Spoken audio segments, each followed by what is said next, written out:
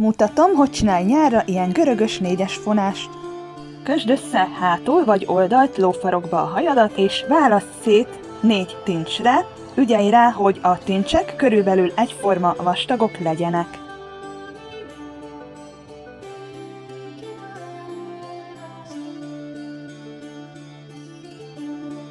Kezd a legszélső tincsel, és haladj befelé. A legszélső tincset a sorban a mellette lévő tincs alá tedd, majd a következő tincs fölé, majd megint a következő tincs alá, tehát le, föl, le, olyan, mintha a kosarat fonnál. Ezután ismételd meg a folyamatot, megint a legszélső tincsel kezd, befelé haladva, ugyanazon az elven, ahogy az előbb is. Közben mindvégig próbáld meg úgy fogni a tincseket az ujjaid közt, hogy ne keveredjenek össze, és külön tartsd őket. Tudom, hogy nem egyszerű a folyamat, de egy kis gyakorlással belejön az ember.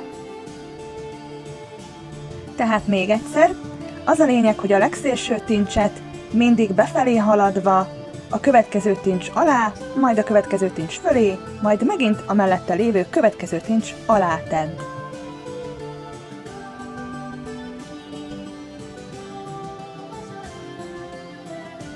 Mutatom kicsit másként, egy ilyen köteles technikával, tehát a legszélső tincset viszed a mellette lévő tincs alá, aztán a mellette lévő tincs fölé, és az utolsó tincs alá. Aztán megint visszamész az elejére, a legszélére, és ugyanaz a folyamat, a mellette lévő tincs alá, azután a mellette lévő tincs fölé, majd a legszélső tincs alá. Kövesd végig ezt a folyamatot, amíg le nem érsz az aljáig. Illetve ugye el nem fogy a hajad. Ha ezzel a folyamattal megvagy, akkor kösd össze gumival a hajad végét. Én átlátszó hajgumit választottam. Óvatosan húzogasd szét, igazítsd el, hogy a tincsed vastagabbnak látszódjon. Ezek a rugalmas fémből készült hajdíszek a sínről vannak, és ezeket fogom belehelyezni a hajamba.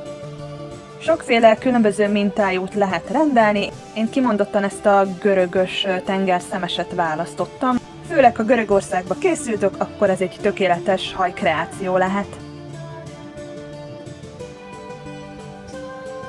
Készen is vagyunk vele, én még megspékelem egy ilyen arany hajpánttal, leveles fejdésszel.